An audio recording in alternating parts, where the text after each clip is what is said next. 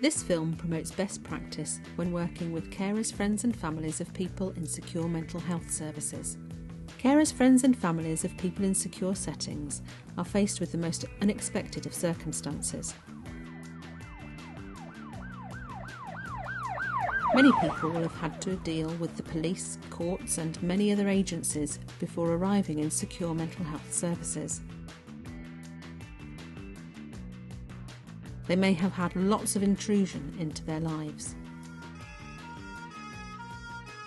By the time their loved one is admitted, many people may be traumatised by their experiences.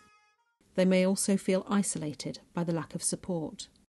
Some will have been affected by their loved one committing a crime or have been a victim of that crime themselves.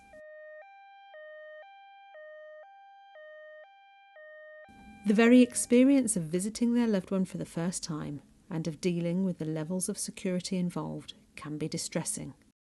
They may be very worried about their loved one. Because of the complicated nature of their situation, carers, friends, and families find it hard to get support. They can also feel isolated and uninformed. Each journey into secure services is unique. The impact of having a loved one in secure service should not be underestimated. Everyone's situation is different. Carers, friends, and families need to be seen as individuals with their own needs from the outset. It's really important to try to understand their experiences and what support or information they might need. Well, it's been an up and down roller coaster with my son. He's been in and out of hospital off and on for 12 years now.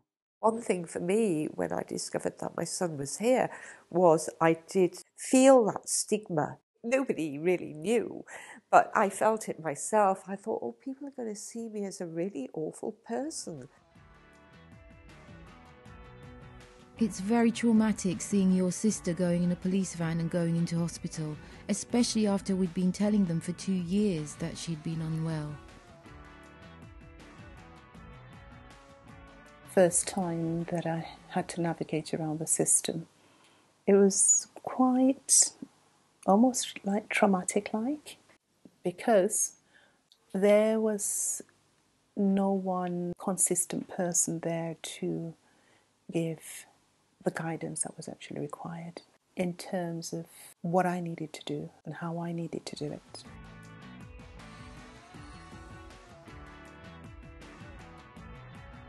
And I think it was the lack of kindness, the lack of honest dialogue that brings you down and you almost become faceless and your own self esteem diminishes. forensic carers have a lot of different things to deal with that are not easily understood. For example, going to the supermarket to buy a loaf of bread and turning round and finding that your private life is all over the front of the newspaper, for example. He lost the tenancy of his flat, and I had to clear that out. I had to go back into that flat and face the trauma of what had happened there with no support. Families need to feel they are involved in the decisions that are made because they are part of the ongoing treatment and care of that person.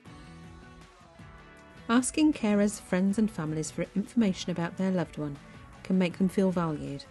It can also help the patient's recovery as they know vital details of their experiences and history. Here are some other approaches that carers say are effective. It's good for me to know that they will listen when I talk about her, or when I know she has one of her triggers, that they will respond.